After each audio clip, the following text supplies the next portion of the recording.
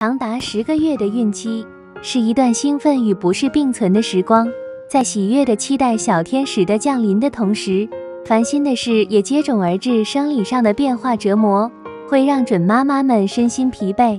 想要缓解孕吐所带来的不适，孕妈在备孕期开始就可以食用燕窝了。孕早期可以少量进食，燕窝含有准妈妈们所需要的营养元素。还能调节内分泌系统，而且燕窝养胃，可以缓解呕吐所引起的胃内不适。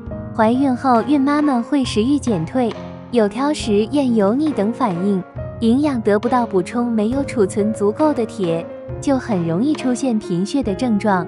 燕窝含有铁等微量元素，它可以促进新陈代谢。如果搭配红枣、红糖等补血佳品，改善和缓解贫血的症状会更好。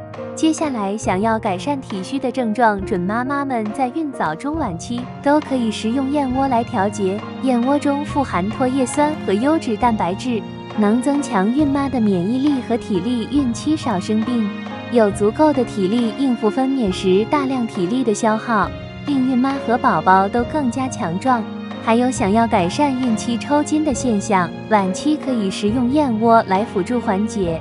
因为燕窝本身含有少量钙物质。最后，想要预防或改善妊娠纹斑，准妈妈们从备孕开始食用燕窝效果会更好，也可以改善睡眠质量问题。关注我们，了解更多燕窝知识。